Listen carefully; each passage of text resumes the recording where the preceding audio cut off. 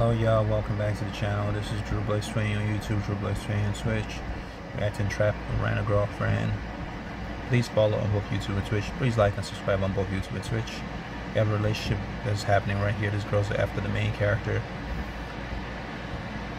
He's like the bachelor of the show. He's having fun in swimming pool. His friends a competition. This other girl's like looks like she's trapped and stuff. But she ends up kissing him. Wow, let me know down in the comments below. Drew Blaze from YouTube.